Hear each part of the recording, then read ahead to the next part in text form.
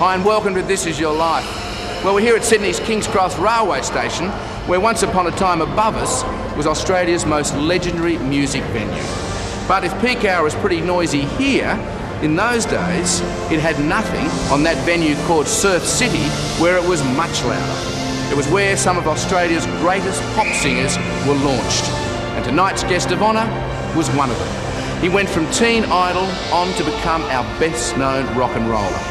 In fact, his music inspired a following he still has today, 30 years later. Now, he's also turned author and is about to launch his first book. And that's where we're going to surprise him, right in the middle of his book launch. So, let's go. Because what I did was, um, I'm a frustrated poet too, and seeing as I'm an author now, I may as well do the whole damn lot. It's very nice to. Uh, that's another nice thing is being able to say, uh, "Oh shit."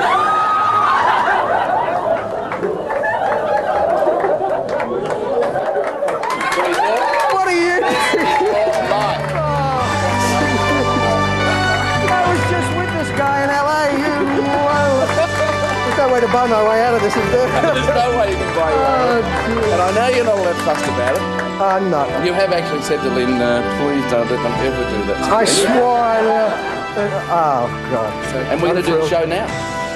Right now? Well, we'll give you a, you know, a couple of minutes to say goodbye to your guests here, of course. But, but, but the show. Thank God I didn't have a couple of drinks then, mate.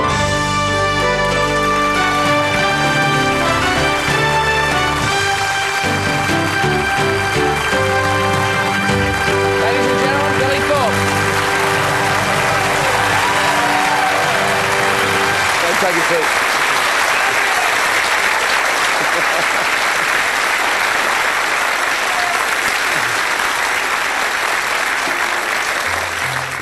William Richard Thorpe. You're born on March 29th, 1946, in Manchester, England, the only child of Bill and Mabel Thorpe. Your father is a bulldozer driver who plays the accordion and the piano. Your mother is a showgirl who hangs up her dancing shoes to raise you. She becomes your fiercest supporter and she joins us now.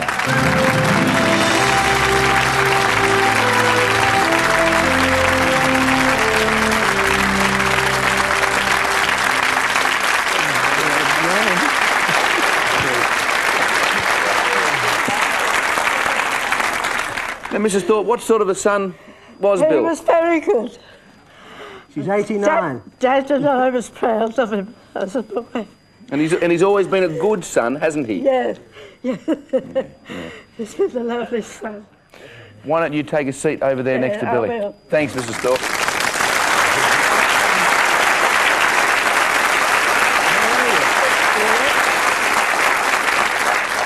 You're eight in 1955 when you and your parents join the ranks of the 10 pound Poms and migrate to Australia. Your first taste of this strange country is in the Salvation Army hostel in. Now, that same year, your parents present you with a guitar, and something magical happens when you pick it up and play it for the first time. From then on, you rarely put it down. The family then moves to Brisbane, and your father opens a general store. Now, a local talent scout spots you strumming your guitar behind the shop counter. She offers you a two week gig at the Railway Hotel in Wollongumba. Is that right? What a. Woolloongabba, when you're just 10 years old. Right. Billy, your career now starts to take off. At the ripe old age of 11, you become a regular on local television programs like Teen Beat. You earn your stripes in stage shows, clubs, even vaudeville.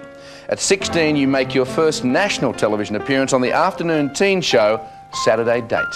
Oh, you mean the Pimple Show? It's the host of Saturday Date and the man who gave you your first big break, Jimmy Hannan. Oh!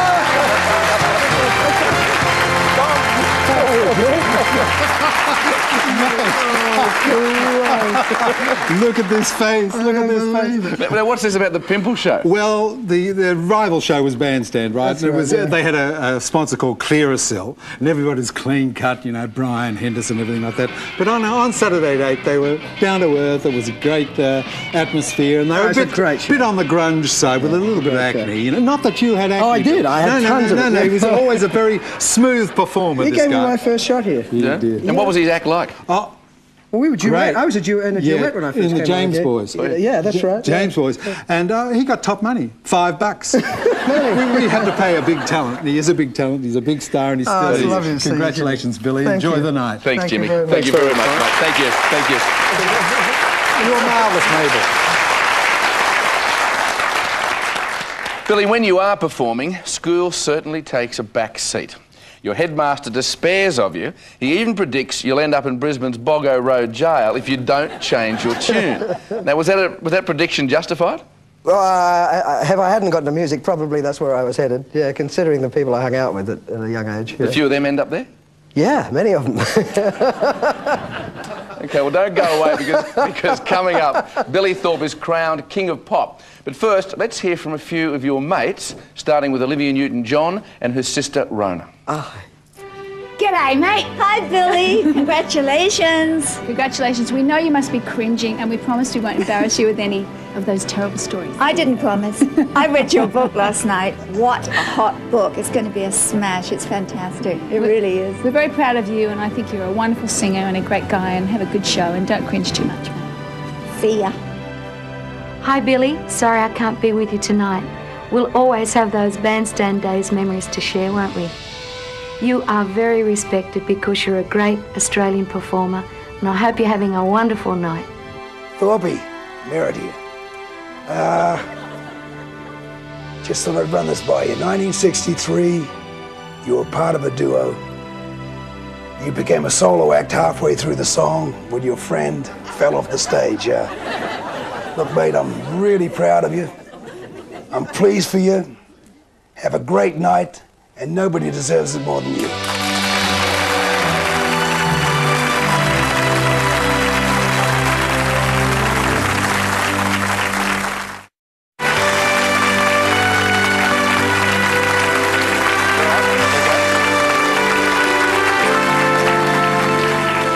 Welcome back to the Billy Thorpe story. It's 1963 and the world is on the verge of a musical revolution. And you are hell bent on being a big part of it. At 17, you head for Sydney, the capital of pop music. You hit King's Cross and immediately fall in love with not one, but two women, Pepper and Natalie, and set up house with both of them. True? My mother doesn't know anything about this, by the way, because she hasn't read the book yet. you know. I was going to break this to her gently, but yes, it's true. True? Yeah. Jeez, to be a rock star, Billy. Yeah, it was good. Well, right in the heart of King's Cross is Surf City. It's the mecca for thousands of hormone-charged teenagers. They come to listen to surf music and to do a dance called the stomp. There it is. It's also where bands get a shot at the big time. At 17, you're asked to sing here with a group called the Aztecs, and together you develop your own version of the stomp. I'm telling you, change your ways for me. Believe me, woman, I mean what I say now. Last time I'm telling you, that jive. Don't wanna buy yourself outside. All right. Billy, you haven't seen uh, some of these guys for 30 years, but here they are now. The original Aztecs, Vince Melouney, Tony Barber, Col Baigent, and Bluey Watson.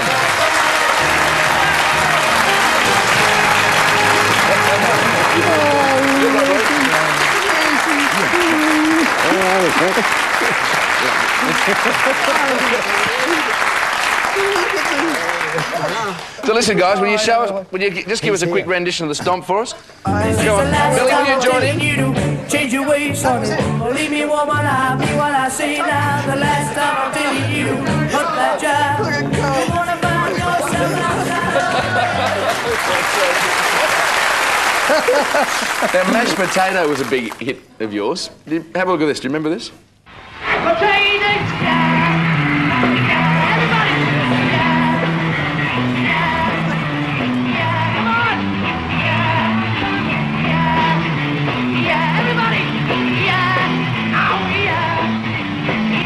Now, they were pretty complex lyrics, weren't they? They were. Uh, 172 times in four minutes.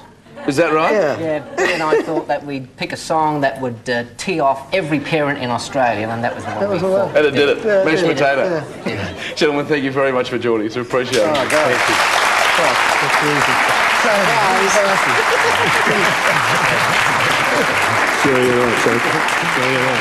you.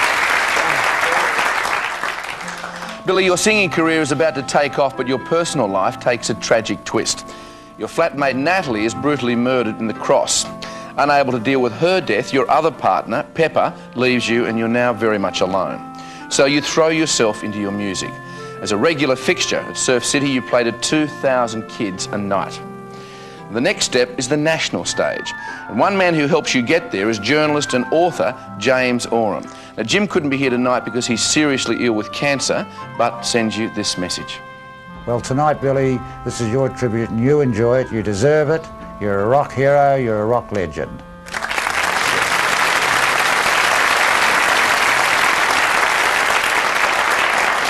It is now June 1964. You're 18 and about to turn the Australian music world on its ear. Billy Thorpe and the Aztecs released the cover song Poison Ivy and it screams up the charts to number one.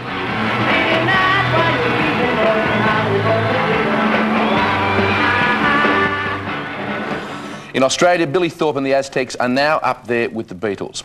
At just 18, you have three singles in the top 40 all at the same time. You also win a Logie for Best Teenage Performer. In the eyes of tens of thousands of fans, you are their idol. In the eyes of their parents, you are the devil himself.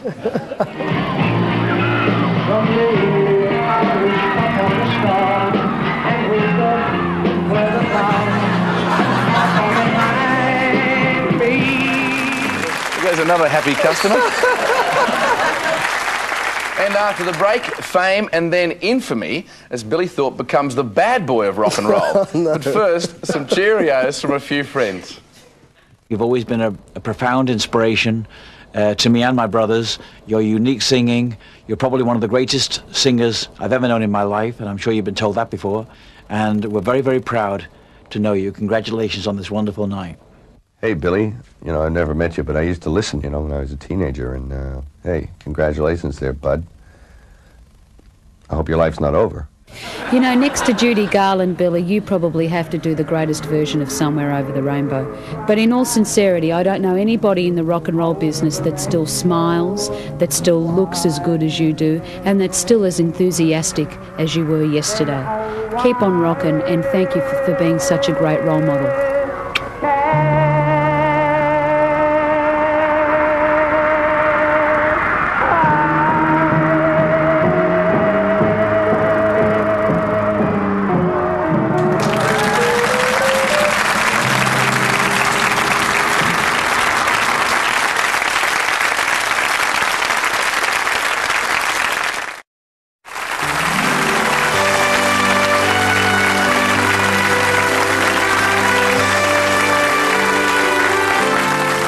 Our tribute to Mr. Billy Thorpe. Billy, you're not even 20 when money squabbles blow Billy Thorpe and the Aztecs apart in 1965.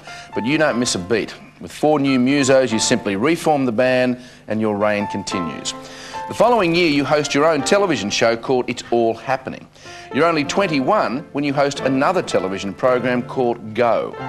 But you then announce live on air that you plan to experiment with the drug LSD. the Minister for Health threatens to throw you in jail and the show is suspended. so what made you do that? Uh, it was uh, seemed like a good idea at the, The time. time. I was an idiot. You're 22 when you make another public announcement. This time it's your engagement to Jackie Home and life is pretty sweet. Two years after you announce your engagement to Jackie, you break it off. But it's not long before you fall in love again. This time you spot a beautiful blonde woman roaring through the streets on a motorcycle. You're in a taxi and you tell the driver, follow that girl. and you've been following her ever since it's your partner of 25 years, Lynn Thorpe.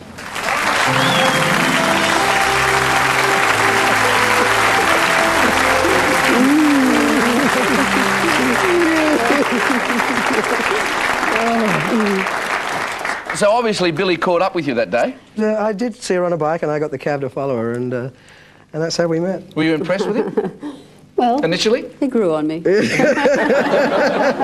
Would you mind taking a seat next to Billy, please?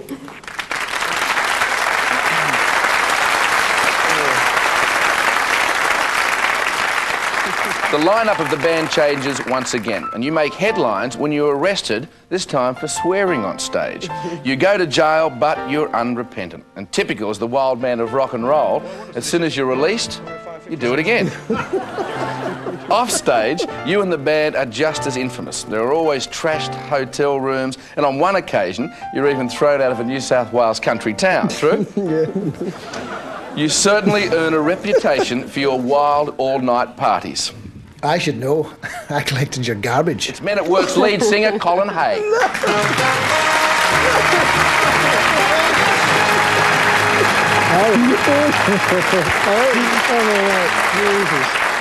I just saw this guy last week too. I can't believe it. Why were you taking out his garbage? Because I was a garbo. Suppose so. It was it was big news when Billy Thorpe moved into my neighbourhood, Beaumaris, and uh, yeah, I did garbage on Wednesdays and Saturdays. So when did you meet him? Uh, years later. Uh, when they were when they were in LA and they were just like the toast of the town. He actually told me the story. He asked me backstage and said to me, Probably describe said, my house, you know, and said you lived in this house and your driveway looked like this and your bedroom was here and your garbage tins around the back. And I'm thinking, what is this guy talking about? And he, I said, how do you know? They said I used to be your garbo. And I, I've told that story not a few times. A few times because he was just so open about it and so and uh, he, he's a lovely man. This guy. Fantastic, Yeah. fantastic. Colin, thank you very much Yeah. for joining us. Oh, it's a pleasure. Oh, Cheers, man. man. Thank nice you. jacket. Your irreverent antics have by now made the Aztecs Aussie working class heroes. That same year, thousands of your followers come to salute you at the Sunbury Pop Festival, Australia's version of Woodstock.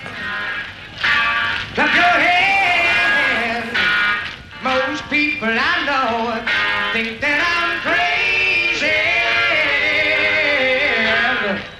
I know at times I act a little hazy. Recognise that bloke? Oh, Molly! Molly Meldrum, minus the hat. Billy, you're 26 and become a father for the first time when your daughter Rusty is born. By now, the times and the music are a-changing. Only one more album makes it into the charts before you and the Aztecs finally break up in 1975. Ever the Larrikins, you all pose bare-bottomed on the album's front cover. Billy, you now embark on a solo career, but soon become disenchanted with life in Australia. You've been in the public spotlight since you were 10, and you've had enough. You pack up your family and leave for America. And after the break, Billy Thorpe rides into Hollywood. But first, let's hear from a couple of your mates. I'm not worthy, Bill! I'm not worthy! How are you, Billy? Bill, the sad truth about it is, yes, you are the greatest rock and roll singer this country's ever produced. The prettiest. I am the loudest. hey, it's just the truth, Bill. But this is your night. Congratulations, mate. G'day, Thorpe. How you, mate? Sorry I couldn't be there. Listen, uh, I just had to tell you this. Uh, you were the guy that I used to go and see. You're responsible for me screaming like this. I used to go and see you when I was about 14. I remember going to Sunbury, and, uh, well, what I remember of Sunbury, and you were the best, mate. I used to come and watch you get up the front, headbang, oop oopy doo, and all that. You're still doing it, mate. Good to see you.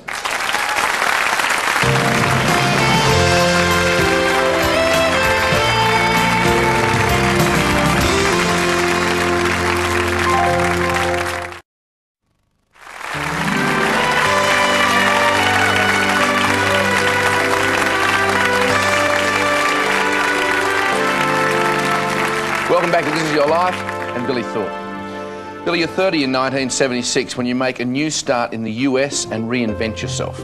Your first American album, Children of the Sun, creates a totally different sound. You describe it as Pink Floyd meets the Aztecs. the album rockets up the charts all over the country and within weeks it goes gold. Then in 1978, your second child, Lauren, is born. Your two biggest fans join us now, Lauren and Rusty, all the way from Los Angeles, New York. Ooh.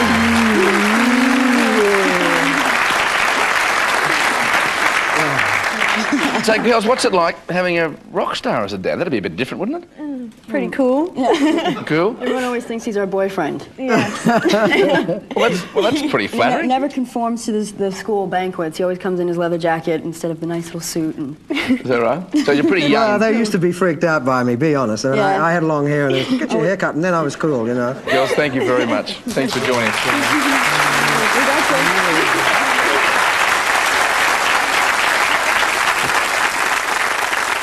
Billy, this year you turned 50, but you're still a big kid at heart. In fact, it's Billy the Kid and Butch Cassidy who inspire you to regularly dress up as a cowboy. You're a member of the elite Hole in the Wall Cowboy Gang, a group of directors, actors, and musos who don their 10 gallon hats and go riding in the Wyoming wilderness. Now, they've heard that we've kidnapped you, and they're doing their best to try and get you back. Whoa! Whoa! Whoa! Whoa! Whoa, boys, we pulled that one off. Yes, sir. Now we can pay that stinking ransom money and spring on Billy. How much do we get, Cash? Looks like about 200 grand. Woo! All right. Why don't we just offer him a hundred? We'll keep the rest for ourselves. Hey, hey, we're talking about a fellow hole wall gang member here. Let's offer him 50 and see if they push us. How are we gonna ride from here to Australia? Well, I'd say very carefully.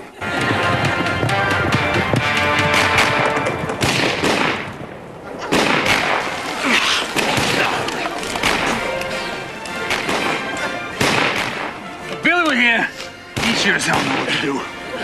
You saying? You saying I'm not the outlaw that Billy Thorpe is? That's it. Grab your weapons. Whoever gets out of this alive, take the ransom. Bring Billy and tell Billy you did all this for him. Let's go!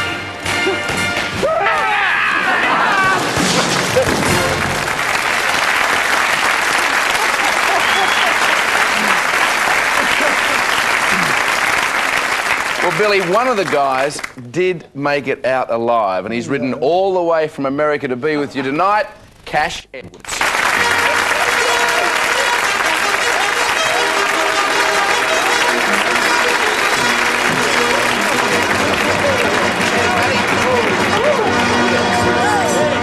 Pay the ransom. You can come back now. hey, Billy. Can you believe that? I don't believe it. Hey, buddy. I come don't believe Way to it. go. Billy, Billy, come over a little closer with us if you can. Oh, God, Cash, how are you? Great to see you, man. Cash, tell us more about the Hole in the Wall gang. Well, it's a it's a group of friends from Denver and Hollywood. We get together every year, dress up as outlaws, and go riding where Butch Cassidy and Sundance Kid uh, went and camp out and the whole bit. And, And how does he handle camping out? Well, I'm the singer, you know. They, I, I was the first Aussie to, to be invited. I actually went on the 10th anniversary some years ago, and uh, they gave me a guitar, and I knew every Hank Williams song ever played, and they said, let's get this guy in the gang, you know? he knows one Hank Williams song. Cash, thanks very much for joining us, and I really appreciate it. Congratulations, mate.